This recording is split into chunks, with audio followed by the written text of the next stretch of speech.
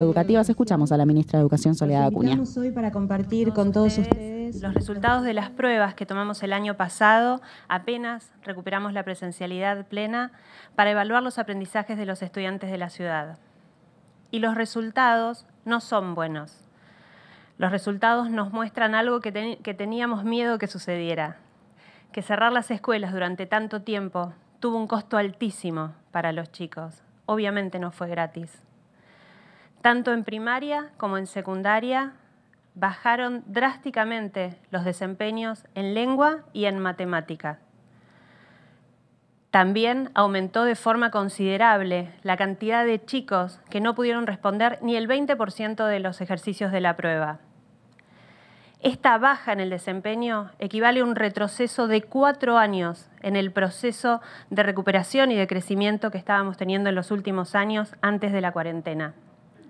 Lo que estamos diciendo es que en la ciudad hoy hay más chicos que tienen dificultades para leer y comprender lo que leen. Que hay más chicos y chicas que no pueden resolver problemas básicos de matemática. Y esta situación extraordinaria nos obliga a un abordaje urgente. Y por eso hoy estamos acá. Porque nosotros somos un gobierno que mide, que evalúa y que toma decisiones para transformar la realidad. Estamos convencidos que para poder crear un futuro, primero hay que conocer la realidad, enfrentarla y tomar decisiones para mejorarla. Porque las sociedades que progresan reconocen sus problemas, porque aunque dejemos de medirlos, los problemas van a estar ahí. Y como las situaciones extraordinarias requieren medidas extraordinarias por parte de los gobiernos, en la ciudad ya tenemos un calendario extendido de 192 días ya sumamos horas efectivas de clase en la primaria. Desde abril del año pasado, todos los sábados las escuelas abren para acompañar a los chicos que tienen dificultades en sus trayectorias. Y ya tenemos implementado un plan integral de alfabetización para mejorar los procesos de lectoescritura y acelerarlos, que incluye todo esto, material didáctico y recursos pedagógicos, tanto para los docentes como para los estudiantes. Y a partir de este año vamos a sumar una prueba de su fluidez lectora en colaboración con el Gobierno de Mendoza y con especialistas del CONICET, que nos va a permitir identificar aquellos estudiantes que estando en cuarto grado todavía no alcanzaron los niveles de alfabetización necesarios y vamos a poder de esa forma trabajar de forma focalizada con ellos. Porque los resultados, como están viendo en la pantalla y tienen los datos que hemos dado, no son buenos. Los datos son políticamente incorrectos, pero no por eso vamos a nivelar para abajo. En la ciudad de Buenos Aires no vamos a eliminar los aplazos, ni vamos a cambiar el sistema de evaluación para que nos dé mejor. En la ciudad de Buenos Aires no vamos a pasar de grado a los chicos que no tengan los conocimientos esperados para cada etapa. Y sobre todas las cosas, no vamos a engañar a los estudiantes diciéndoles que saben algo que no aprendieron porque no se los enseñamos. Porque si lo que faltó fue escuela, la respuesta es más escuela. Y somos los adultos los que tenemos la obligación de hacer un esfuerzo extraordinario para que los chicos puedan tener las oportunidades que el aislamiento les quitó. Y como las familias para nosotros son parte importantísima de la solución, a partir de hoy en la página de la Ciudad de Buenos Aires van a encontrar una plataforma específica que les va a dar indicaciones sobre los estándares de aprendizaje. ¿Qué tendría que saber mi hija si está en segundo grado? ¿Qué debería saber mi hijo si está terminando tercer año de la secundaria? Estándares de aprendizaje para cada nivel. Y esto va a estar acompañado también por un grupo de información y de pautas de trabajo, de guías de aprendizaje orientativas para que las familias puedan complementar desde casa con los chicos lo que están haciendo en las escuelas. Esta realidad dura, difícil, antipática, no es exclusiva de la ciudad de Buenos Aires, aunque otros elijan no mirarla. Es la realidad de todos los países que decidieron cerrar las escuelas por demasiado tiempo. Y por eso tenemos acá en el tótem a Ernesto, que lo invitamos desde Montevideo, que es director regional de la UNESCO, para que nos haga también un breve resumen de la situación de Latinoamérica en términos de aprendizajes. Ernesto, buenos días. Acá con el jefe de gobierno, el jefe de gabinete y todos los colegas periodistas de la Argentina te estamos escuchando. Buenos días a todas y todos acá desde Montevideo, espero que me escuchen bien. Es mi primera vez en un tótem, así que quería mandarles un saludo muy especial, ministra Soledad Acuña, al señor jefe de gobierno, al jefe de gabinete, a todos y a todas y todos los periodistas presentes. Eh, una reflexión acerca de la importancia de las evaluaciones, ¿no? Desde UNESCO, nosotros en principio eh, abogamos en todas las áreas. Eh, la UNESCO está en educación, ciencia, cultura, ¿no es cierto? En todas las áreas, abogamos por la evidencia como un insumo para la toma de decisiones, ¿no? La importancia de que los datos, el conocimiento, eh, informen la toma de decisiones y entonces realmente celebrar eh, las evaluaciones. Las evaluaciones, además, eh, nosotros desde UNESCO periódicamente estamos llevando a cabo evaluaciones de aprendizaje. las últimas, nosotros, pero lamentablemente no tenemos post pandemia, ustedes están eh, más adelantados ahí que nosotros, porque claro, nosotros tenemos que hacerlo a nivel de toda América Latina y el Caribe y eso lleva un esfuerzo comparativo difícil, pero, eh, pero de todas maneras, en el último informe sobre el avance del Objetivo de Desarrollo Sostenible 4, ¿no es cierto?, el de la educación de calidad para, para todas y todos, eh, a, a lo largo de toda la vida, que es un informe que hemos hecho desde UNESCO con UNICEF y con CEPAL,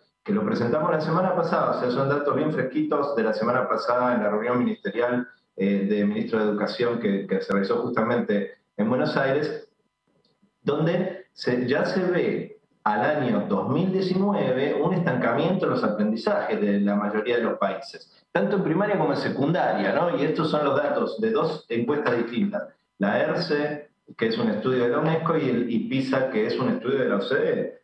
A la vez hay, o sea, hay, una, hay una situación un poco que tiene una, una, tensión. Uno es que mejoran los datos de acceso, ¿no? mejora el crecimiento histórico de la cobertura, pero a la vez todo lo que sea aprendizajes se mantiene eh, ya sea eh, estable o, o, baja, especialmente en las áreas de matemáticas y ciencias, que son algunas de las áreas que más nos preocupan, pero también en lengua y literatura. Entonces, eh, hay un, ya estos son datos de 2019, o sea que son datos previos a la pandemia, y ahí ya nos estábamos estancando en el aprendizaje.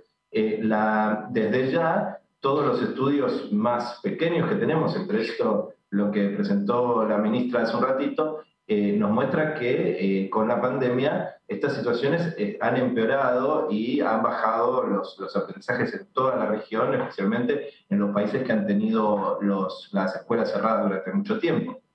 Y esto, a su vez, lo que, lo que trae es un aumento de las brechas, ¿no es cierto? Un aumento de las desigualdades, porque eh, las, el impacto del cierre de las escuelas ha sido mayor en aquellos, en aquellos niños de los quintiles de menor ingreso en la sociedad, de, de aquellos que viven en la pobreza, eh, han tenido un impacto mucho mayor aquellos que no tienen tanto acceso a las tecnologías, a la, no tienen tanto espacio, no tienen tantos libros en la casa, o sea, no hay, no, hay, hay distintos indicadores que muestran que el, el, impacto de la pandemia ha sido eh, mayor en los eh, sectores más pobres. Entonces, de alguna manera, eh, la pandemia, en los datos que nosotros tenemos, que no son los de los grandes estudios, pero sí de los estudios más pequeños que hemos realizado, nos muestran una, que esa crisis se ha profundizado. Entonces, solamente reflexionar brevemente, bueno, por un lado decir que desde UNESCO estamos disponible para continuar apoyando al Ministerio de Educación de la ciudad, eh, como lo venimos haciendo en los últimos años, pero a la vez eh, hacerle llegar el llamado del secretario general de Naciones Unidas, Antonio Guterres, que ha llamado a la comunidad internacional y especialmente a los gobiernos a todos los niveles para poner la educación en lo más alto de la agenda política pública. Es decir, eh, recuperar en toda esta crisis mundial en la que estamos viviendo, que la educación vuelva a estar en el punto más alto de la agenda política pública. Por eso es muy bueno hoy estar aquí junto al, al propio eh, jefe de gobierno y a las autoridades de la ciudad. Estuvimos eh, la semana pasada con todos los ministros de, de, Educación de América Latina, incluyendo el ministro argentino, volviendo a que la educación esté en boca de todos y que sea un objetivo de toda la sociedad mejorarla. Y en ese sentido necesitamos la información, como decíamos al principio, para poder eh, avanzar hacia eso. Así que muchísimas gracias. Muchísimas gracias, Ernesto. Se te vio muy bien en el tótem, ¿eh? Después te mandamos fotos. Gracias. Felipe. Bueno, gracias Ernesto por acompañarnos. Gracias Sole. Buenos días a todos. Lo que no se mide no se mejora y lo que no se enfrenta no se resuelve. Por eso para nosotros es fundamental evaluar. En primer lugar, porque los datos no tenemos nada que esconder y son de los ciudadanos, no son de los gobiernos. Y en la ciudad de Buenos Aires esos datos son públicos, son transparentes y son claros, son reales, son ciertos. En segundo lugar, porque no hay manera de resolver un problema sin conocerlo. No se evalúa para marcar el error, no se evalúa para estigmatizar a los chicos, como algunos dicen. Se evalúa para conocer dónde estamos parados, para poder trabajar, preparar un diagnóstico y un plan justamente para corregir situaciones o mejorar situaciones, como decía Soledad recién. Y si bien en este caso los datos no son los que nos gustaría estar compartiendo, sí tenemos claro lo que tenemos que hacer para cambiar esa situación. Y lo primero que teníamos que hacer era recuperar la presencialidad cuanto antes. Todos lo vieron. Dimos todas las batallas para volver a la presencialidad cuanto antes. No nos da lo mismo. Por eso, el año pasado ya tuvimos 190 días de clase, este año arrancamos dos semanas antes para tener 192 días de clases, más escuelas, más escuela, como decía Soledad, significan más días de clases, significan más horas de clase con jornada extendida, más horas de clase sin horas libres. En la ciudad de Buenos Aires no hay horas libres. Cuando falta un profesor, les damos a los chicos matemática e inglés para que no se pierda ese tiempo y se pueda aprovechar en educación. Hace poco más de un siglo, Alberti decía, gobernar es poblar. Hoy más que nunca, gobernar es educar. Por eso vinculamos a los chicos al mundo del trabajo, por eso tenemos educación financiera, secundaria del futuro, escuelas bilingües, y nunca, pero nunca nos vamos a resistir a evaluar. Nosotros queremos que en la ciudad y en el país se formen ciudadanos libres, independientes, críticos, con ganas de desafiarse, de crecer, de alcanzar los sueños que se planteen, de trascender en lo que elijan ser no vamos a renunciar a la calidad de la educación. Y vamos a corregir lo que haya que corregir para nivelar hacia arriba y mantener siempre la vara alta.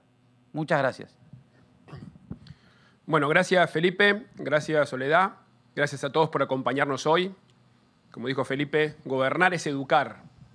Por eso cada vez que recorro la Argentina, hablo con padres, con madres, todos me dicen que están muy preocupados por el futuro de sus hijos me cuentan que sienten que la escuela no les da las mismas oportunidades que ellos como padres tuvieron. A medida que ven que pasan los años, ven que cada generación sale con menos conocimiento que la anterior, cuando justamente la Argentina fue siempre un país de oportunidades, donde cada nueva generación progresaba. Hoy, en términos educativos, parece que sabemos que cada, cada uno sabe menos. Y tenemos que asumirlo. Hablemos con la verdad acá en la ciudad de Buenos Aires siempre hablamos con la verdad. Y la verdad es que la educación dejó de ser el camino hacia el progreso que alguna vez lo fue nuestro país.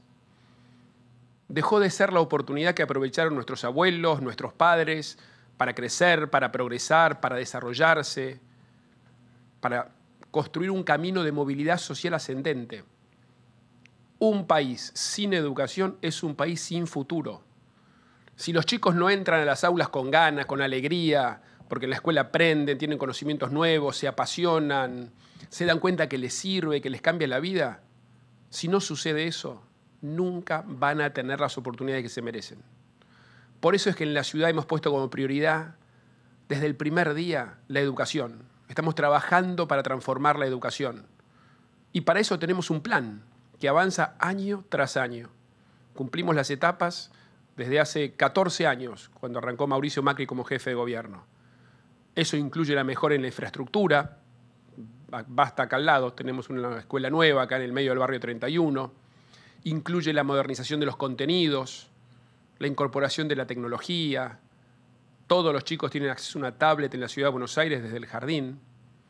La enseñanza de inglés, que ya completamos que todos tienen inglés desde el primer grado de la primaria hasta el quinto año de la secundaria. Incluye la capacitación docente, que multiplicamos por varias veces la cantidad de horas o días por año que los docentes se capacitan. Creamos la universidad. Ahora, todos estos avances, todo el plan que estamos llevando adelante en materia educativa tiene una manera de seguirlo, un punto de partida muy claro, que son los resultados de las evaluaciones. Como dijo Felipe, lo que no se mide no mejora. Todas las decisiones que tomamos en la ciudad de Buenos Aires, en materia educativa y en todo, así como lo hicimos en la salud durante la pandemia, son decisiones en base a datos y evidencia. Y en educación, uno de los mejores datos es el resultado de las pruebas porque se hace todos los años y son los resultados que hoy venimos a presentar. No hay ninguna posibilidad de hacer una política educativa seria, un plan de mejora en la calidad, sin saber dónde estamos parados. Y para eso hay que evaluar, porque evaluar nos dice dónde estamos bien y dónde tenemos que mejorar.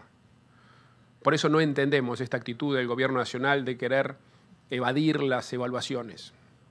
Es una manera de escapar a la realidad, de no hablar con la verdad porque la evaluación es lo que nos permite planificar y nos permite planificar con herramientas concretas para ir resolviendo los problemas y mejorando. Por eso en la ciudad es que tenemos nuestro propio sistema de evaluación, para no depender si al gobierno nacional un año se le ocurre evaluar, otro no, van y vienen. Acá en la ciudad sabemos cómo está el estado de la educación pública, el rendimiento de los chicos. En la primaria tenemos las pruebas FEPBA para todos los chicos de séptimo grado, tanto, todo, es siempre para gestión privada y gestión pública. Y en la secundaria tenemos el TESBA, que es para los de tercer año, siempre también para escuelas públicas y privadas. Es decir, todo el año vamos recabando datos, investigamos, producimos información de calidad, que es lo que nos permite ir mejorando la calidad educativa. Ahora, como dijo recién Sole, los resultados de la evaluación de este año muestran que hubo un aumento de la cantidad de los chicos que no responden a las expectativas de aprendizaje, que no alcanzan el nivel deseado. Obviamente es producto esto de, los, de lo que sucedió con la pandemia. ¿no? En primaria, aquellos que estaban en nivel avanzado e intermedio lograron mantenerse. El problema está en los chicos que estaban en nivel más básico, que pasaron a no llegar a dominar los saberes necesarios. Y en secundaria los datos fueron similares. Sole ya los explicó son resultados que nos duelen, pero obviamente se explican en gran medida por el efecto que tuvo la pandemia sobre el aprendizaje y sobre el desarrollo de los chicos, cosa que ya vinimos contándoles a lo largo de estos años. Pero gracias a que evaluamos, gracias a que medimos, gracias a que dialogamos con la comunidad educativa, tenemos la información necesaria, primero para saber dónde estamos parados y segundo para resolver los problemas. Los cambios se hacen con información, con planificación, con un rumbo claro. Tener información es la única manera de no improvisar. Por eso siempre en la ciudad tenemos los datos, los compartimos públicamente y hablamos con la verdad. Para enfrentar, para enfrentar estos resultados tenemos dos planes de recuperación de aprendizajes, uno para la primaria y otro para la secundaria. Ya venimos comunicando varias de estas medidas, para recuperar los días perdidos en la pandemia. Iniciamos antes las clases, tenemos la extensión de la jornada obligatoria, tenemos la escuela los sábados para los chicos que tienen más dificultades, tenemos el aprovechamiento de cada hora libre con contenidos de matemática y lengua. A eso que ya venimos haciendo, que ya venimos recuperando, le vamos a sumar. En la primaria tenemos un plan para profundizar la alfabetización los chicos de primero a tercer grado, que es donde está el, foco del, del, problema en términos de alfabetización, van a recibir materiales didácticos y los docentes van a poder acceder a una plataforma digital de prácticas de lenguaje. Es muy importante mejorar la enseñanza de esos contenidos. Y de cuarto a séptimo grado tienen un programa que se llama Fluidez y Comprensión Lectora, que es un modelo que ya funciona en Mendoza, en estos intercambios de experiencias que hacemos con nuestras provincias, que consiste en escuchar a los chicos a leer en voz alta durante un minuto y ahí se detectan situaciones que puedan requerir una intervención adicional. Y en secundaria, además de la asistencia obligatoria a las clases de apoyo para los chicos que deben materias, que son después de hora o los sábados, como dije antes, también vamos a sumar lo que se llama el programa Escuelas Lectoras, que son talleres que ponen énfasis en el trabajo en literatura, eso es tanto oral como escrita. Estamos promoviendo la lectura en los chicos. Y además vamos a profundizar el rol del docente, con un programa de acompañamiento y asistencia técnica desde la Escuela de Maestros a todos los equipos de conducción de las escuelas de la ciudad. Esto apunta a fortalecer la enseñanza de matemática y lengua en el secundario. Todos son esfuerzos que se van sumando, muchos ya los fuimos comunicando, todo el tema de la recuperación de los días y las horas perdidas. Hicimos un gran esfuerzo en el 2020 para mantener la virtualidad y poder ir reabriendo las escuelas hacia fin del 2020 con protocolos. Fuimos los primeros en volver a la presencialidad plena en el 2021. Dimos una pelea muy fuerte cuando nos quisieron cerrar las escuelas y las mantuvimos abiertas. Si hubiéramos cerrado las escuelas como quería el gobierno nacional en ese momento, estamos convencidos que los resultados serían aún peores, como son en muchas provincias de la Argentina, donde en general lo que hacen es ocultan los resultados, evitan las evaluaciones. Eso jamás lo vamos a hacer en la ciudad de Buenos Aires. Y tampoco, como decía Sole, vamos a permitir que un chico pase de grado si no tiene los conocimientos necesarios. Lo estaríamos engañando, estaríamos hipotecando su futuro. Eso en la ciudad de Buenos Aires no sucede. Los datos son públicos, los enfrentamos y siempre hablamos con la verdad. Porque los miles de chicas y chicos que están en este momento, mientras estamos acá en las aulas de toda la ciudad de Buenos Aires, están llenos de ilusión. Ellos merecen lo mejor que podamos darles. Y lo mejor que podemos darles es una educación de calidad, que los estimule, que promueva sus capacidades, que les sirva para el mundo en el que viven. Por eso es tan importante este esfuerzo que estamos haciendo de vincular la educación con el trabajo a través de las prácticas profesionales. Porque una buena educación de calidad es lo más importante que le podemos dar a nuestros hijos. Es la mejor herramienta que tenemos para vencer la desigualdad, pero sobre todo para que puedan elegir con libertad qué futuro quieren. Eso es la educación. La manera de hacerlo es apostando a la calidad educativa, es invirtiendo, es ampliando el foco, es recuperando el tiempo perdido con la pandemia, es mejorando la calidad y además también fortaleciendo a los docentes, que son la clave en este sistema. Tenemos que lograr que la educación vuelva a ser el motor de progreso en la Argentina, que la escuela pública vuelva a ser un ejemplo mundial como lo era, porque eso significa futuro para nuestros hijos y progreso y desarrollo para los argentinos a lo largo de todo el país. Bueno, muchas gracias por acompañarnos. ¿Tenemos algunas preguntas? Buen día, ¿qué tal? Marcos Barrocas de Canal 13 y Todo Noticias. Buen día, Marcos. Eh, primero para la ministra Acuña, preguntarle porque mm, desde hace tiempo venimos hablando de que los chicos no, no comprenden los textos, no saben resolver un problema, eh, no saben resolver una cuenta. Si ustedes adjudican esta falla y este por este resultado que usted decía, ministra, que nos hace retroceder cuatro años. Eh, ¿Lo adjudica directamente a la extensión de la cuarentena o, por ejemplo, también que los docentes no pudieron corregir esa situación desde la virtualidad, no supieron cómo hacerlo, no pudieron, dónde estuvo realmente la falla? Y me corro un poco de la educación, Horacio, preguntarle por, eh, ayer el presidente se reunió con algunos gobernadores por el tema de querer ampliar la Corte Suprema de Justicia. ¿Cuál es su mirada y qué piensa juntos? Gracias. Buenos días, Marcos. Eh, es todo parte de lo mismo, la falta de escuela, la falta de presencialidad. Vemos una diferencia en los resultados que aparecían en la pantalla y que les estuvimos entregando, que marcan que la peor eh, pérdida de, de saberes se produjo en las áreas de prácticas del lenguaje y no tanto en matemáticas. Porque prácticas del lenguaje supone, y es una de las hipótesis con las que estamos trabajando más fuertemente con los especialistas, supone el trabajo entre pares, supone mayor actividad y mayor intervención por parte de los docentes, que obviamente en una, condición de distanciamiento, en una, una situación de virtualidad o incluso en muchos casos en chicos que no tenían conectividad y tenían que seguir los ejercicios solos, esto generó las diferencias. Por eso está mayor la pérdida de saberes en prácticas de lenguaje que en matemáticas y peor aún en aquellos chicos de los niveles socioeconómicos más bajos. No importa el nivel de gestión, cuanto menor era la situación, peor era la situación socioeconómica, peores los resultados de aprendizajes. Respecto a la ampliación de la Corte, así como está planteada, yo no estoy de acuerdo. Creo que es un avance más del gobierno, un intento de avance más del gobierno sobre el Poder Judicial, como ya lo fue con la reforma judicial, con el intento de cambiar la ley del procurador, el intento de avanzar sobre el Consejo de la Magistratura. Todos intentos que el gobierno fracasó gracias a la unidad de Juntos para el Cambio.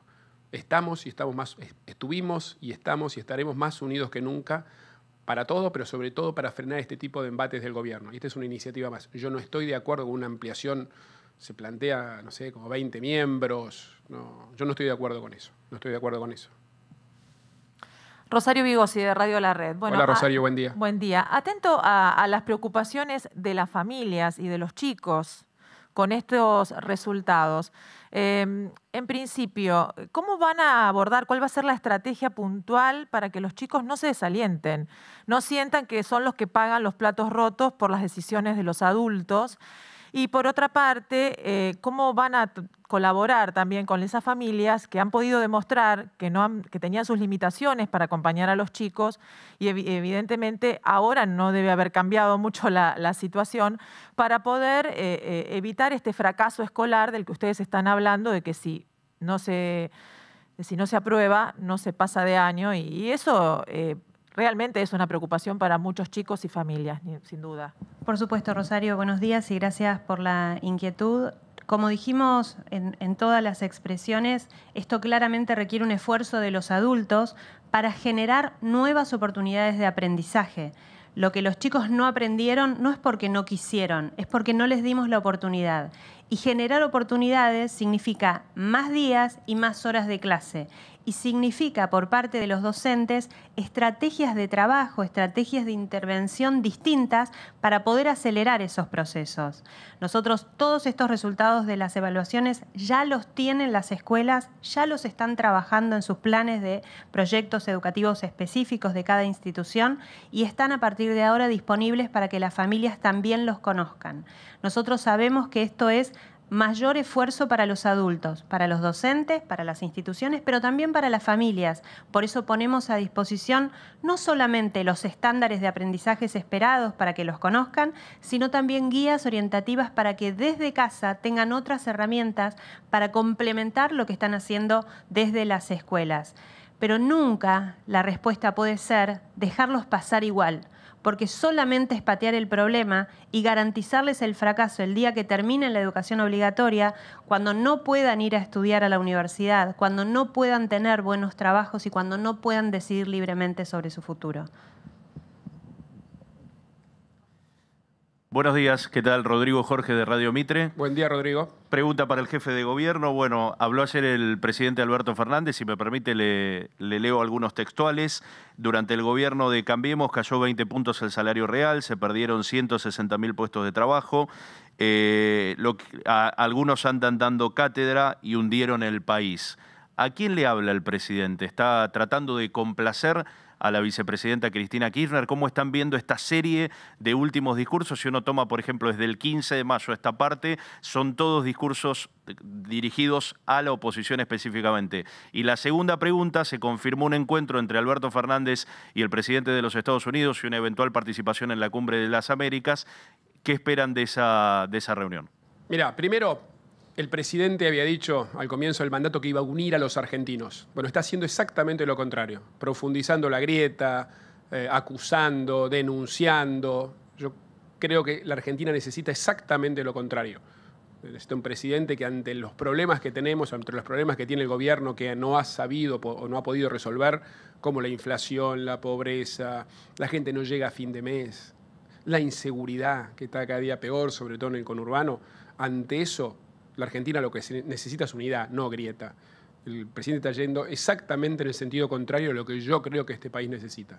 Seguir peleándonos, acusando, acusando al que estaba antes, todo eso no conduce a nada.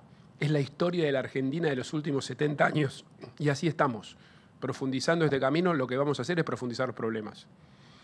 Y respecto a la participación de la Argentina, no sé, eso pregúntele a él, pregúntele a él, no tengo idea, a quién le habla. Eh, respecto a la participación de la Argentina, a mí me parece bien que la Argentina participe en la Cumbre de las Américas, obviamente. Ahora, siempre tenía que haber participado. esta cosa errática, eh, digamos, eh, que van cambiando de la mañana a la noche, que al principio primero vamos, después no vamos, después queremos hacer la contracumbre acá, pero después México no viene. Toda una cantidad de contradicciones que no ayudan nada. O sea, lo que hay que ser en el mundo es tenemos que ser serios, tenemos que ser un país predecible, tenemos que ser un país que apueste a acuerdos de largo plazo, tenemos que ser un país que sea coherente. Yo lo dije ayer o antes de ayer, no puede ser que nuestros únicos socios estables sean Venezuela, Cuba, eh, que hayamos sido erráticos con la cuestión con Rusia, de condenar a Rusia a la invasión de Ucrania. La política internacional, las relaciones internacionales requieren coherencia, coherencia en el tiempo independientemente del gobierno de turno. Eso es lo que va a permitir, que es el objetivo que tenemos, exportar más, que genera trabajo en la Argentina y generar más inversiones de argentinos y de extranjeros también. Eso es lo que la Argentina necesita para desarrollarse y para volver a crecer. Y eso requiere una diplomacia, una política exterior seria y coherente. Gracias.